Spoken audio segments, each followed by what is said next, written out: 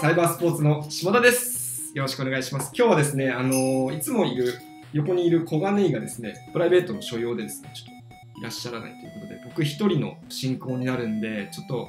緊張しております。まあ、サイバースポーツチャンネルのアスリート対談とはっていうところなんですけど、気になるアスリートの方々にですね、こう競技の魅力やこうご自身の活動などをですね、まるで友達かのような距離感でいろいろ聞いちゃおうというアスリート応援チャンネルになっております。早速ですね、お呼びしたいと思います。本日のですね、ゲストは、えーハンドボールの岩見かのん選手です。よろしくお願いします。よろしくお願いします。いや、今日本当に僕一人で申し訳ないです。せっかくの機会で。はい、よろしくお願いします。でまずですね、ちょっと事前にですね、プロフィールの方をいただいてますので、えー、と僕の方からですね、ご紹介させていただきたいと思います。京都府京都市のご出身ということでですね、で12歳の時に友達に誘われたことがきっかけで競技を始められる。で現在ですね、えー三重バイオレットアイリスにご所属され、えー三重県鈴鹿市を拠点に活動されており、ですね、最近ハマってることはですね、ゆっくり気に時間を気にせず、YouTube を見ることが、えー最近のハマってることというふうにお聞かせいただいております。はい、ありがとうございます。YouTube どんなの見るんですか？は えーもう多趣味多様なのでい。まあでもアニメとか漫画とかも好きだしあ、本当ですか？ゲームとかも好きなあ、いいですね。のもあるえ何でも見ますよあ、本当ですか？え、ちなみにアニメだと何？では今見てるのはえっとまあよくある呪術廻戦とあ、か、はいはいはい。私も拝見しております。はい。約束のネバーあ、ランドはいはいはい。面白いです。あしっかりチェックしてますいや、面白いですよね、本当に。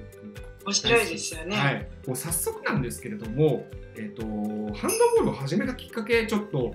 深掘っていきたいなと思っております。で友達に誘われた12歳の時にことがきっかけっていうふうにお聞きしているんですけれどもこれはもう、はい。なんか部活動とかでハンドボール部があってそんな感じですか？そうですね。小学うん校、うんうん。まず小学校の時点で結構習い事をいろいろしてまして、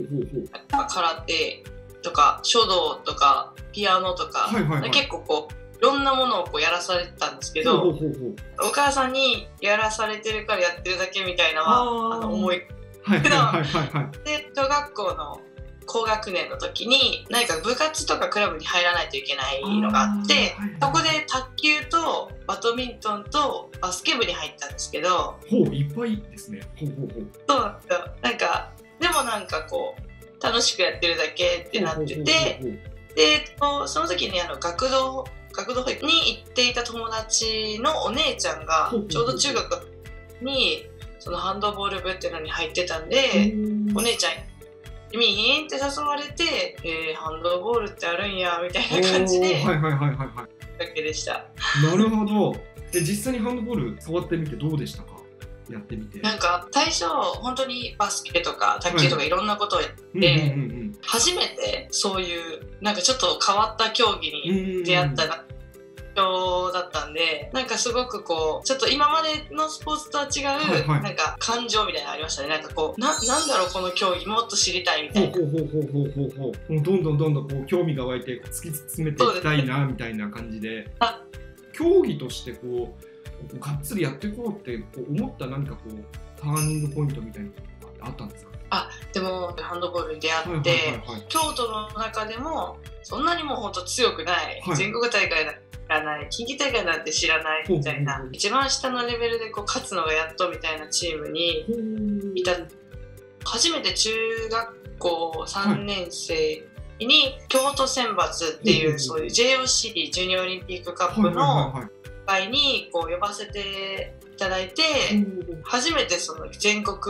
規模で戦う選手たちと一緒に初めて全国大会とか近畿大会を経験させてもら。ってなんかより一層って感じですね。あやっぱりちょっとこう世界が広がったような感じですかね。でも本当に京都の中でうんうんもうんうん市内の大会があって、そこ勝ち上がると京都府の大会に出れるんですけど、うんうんうんうん京都府に出てるチームはやっぱり全国大会常連のチームばっかりで。まあなんかその人たちと一緒に京都選抜としてなんか戦うっていうのは本当に刺激的ですね。本当知らないこといっぱい教えてくれるみたいな。なるほどなるほど。でその JOC で、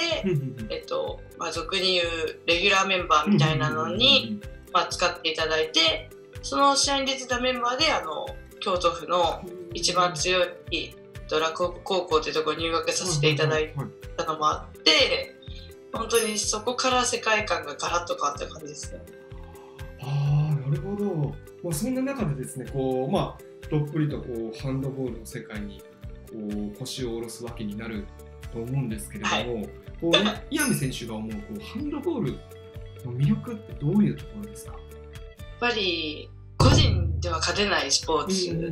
チームスポーツならではの一体感ですかね、魅力っていうのは。あと、まあ、自分のチームの話になるんですけど、はい、やっぱり私たちのチーム、クラブチームで、はい、本当に1企業、1選手雇用していただいて、いろんな地域の方に協賛していって、本当に今の自分たちが成り立って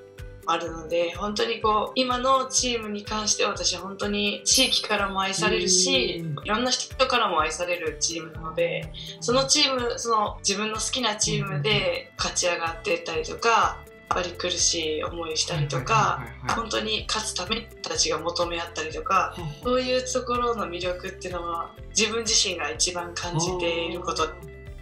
なるほど。今すごいその、ね、チームのこうへの愛っていうのが伝わってきたんですけれども このねこう三重バイオレットアイリスチームあるじゃないですか。こうこのチームをこう表現するとしたらどんなチームですか？あでも動物園みたいなチームです。動物園。